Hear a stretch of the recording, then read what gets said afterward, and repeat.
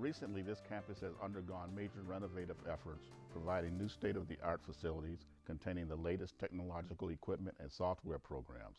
We are interviewing current students discussing their experiences, their goals, and future career expectations. I'm Alfred Gore. As stated on its website, San Bernardino Valley College is here to provide quality education and services that support a diverse community of learners. Fast becoming the affordable college of choice for local and foreign students, SBVC's reputation for the quality of its programs and services, safety and comfort, and modernization of its apparent of its campus is apparent throughout the Inland Empire and Community College environment. Here with us, availing herself of what San Bernardino Valley College has to offer, is local resident Lakeisha Scott. Lakeisha Knott. Hello, Lakeisha. Hi, well, my name is Lakeisha Knott. So uh, sorry about that. I apologize. It's, it's, it's, great. It's it's nice. Before we start, Lakeisha, tell me some specifics about yourself: age, family, the high school you attended, and well, where you graduated. Mm, well, I um, my name is Lakeisha. I live under a rock at my parents' house in uh, Rialto. Um, I'm 18 years old, so still kind of a kid, but legally an adult.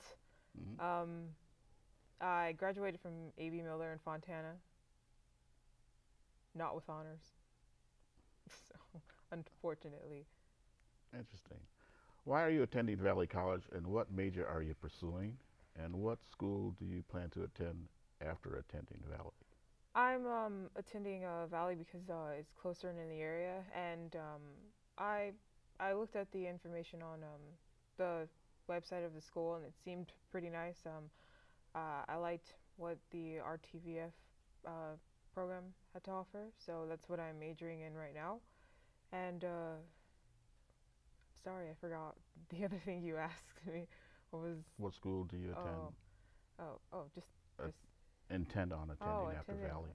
Um, probably uh, one of the UCs, or I. That's what my I'm filling out my um, general ed for.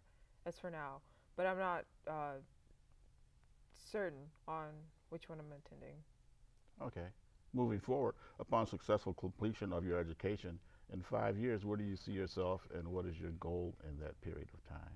Well, in five years, um, I see myself ruling the world in mm. my new script called World Domination. Oh, okay. Where I'm just kidding. I have no idea what I'm going to do in five years. I have no idea what I'm going to do in five days, let alone five years. So, as long as I'm happy, then I don't have a problem with anything I'm doing. As what long as it's not bad. Yeah. Okay. I don't want to be happy like beating people. I mean, hopefully I don't make a change like that. You never know. Okay. you never know. Maybe you might be a criminal in five years. I hope not. I, oh. You, I doubt it. No. Uh, thank you, Lakeisha. San Bernardino Valley College's immense educational opportunities and diverse community located in the Inland Empire with new facilities and conscientious professors awaits and will welcome you.